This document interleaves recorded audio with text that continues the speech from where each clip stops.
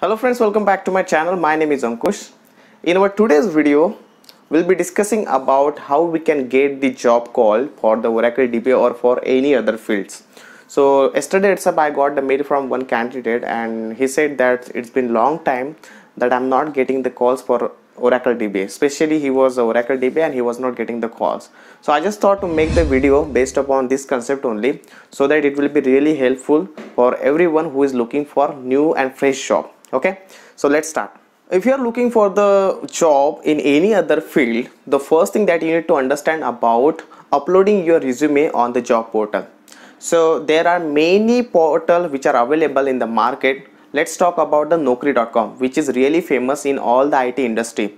So most of the MNC companies they are using this Naukri.com portal. There you can just upload your resume and create your profile. Uploading the resume and creating your profile is not uh, something which is you need to pay. It is a free of cost. Just go to the naukri.com if you want the link i can put it into the description section. There you will get the link for naukri.com along with the naukri.com you can also use the monster and indeed.com because middle scale companies they are also using this kind of portals now in the Oracle DBA, Oracle 18c and Oracle 18c which are currently trending, right? So if you are not updating this skill, definitely there is a less chance that you will be getting calls because when we want the resource to be work on the Oracle 12c, we'll be telling to the HR, hey, we need the people who is having the experience on Oracle 12c. So what HR will do? HR will search on the naukri.com for Oracle 12c. Those candidates who has mentioned Oracle 12c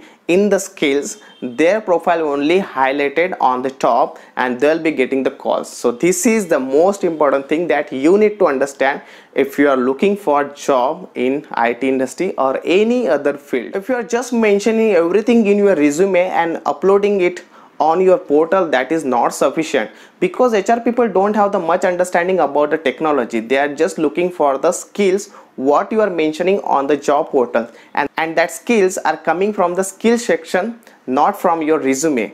So make sure you upload so make sure you update your skills on the skills section as well as in your resume. Next thing is you need to update your profile on daily basis. Once so you once wake up just log into your portal and then you need to just update your profile. I'm not asking you to add the new skills on every day but you can directly update.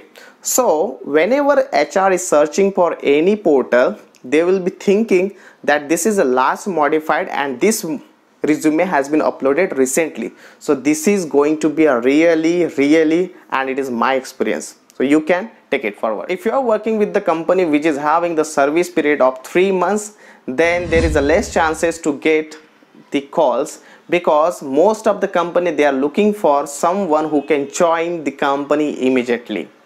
Now here the irony part is the company who is looking for immediate joiner they also have the three months of notice period. So this is what i am not understanding. You need to understand these things you are not alone who is looking for the job into the it industry. So what you can do you can join these facebook pages are there whatsapp groups are there and there you will get the information if there is any vacancy in any company. If you want me to make the videos on the vacancies which are available for Oracle DBA then I can do it.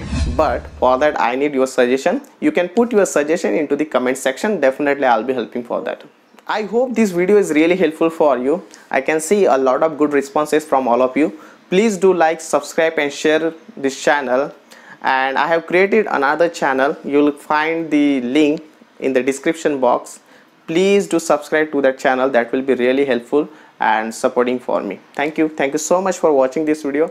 If you have any suggestion for me for the next video you can definitely suggest me in the comment section. Thank you so much bye bye for the day. See you again with the next video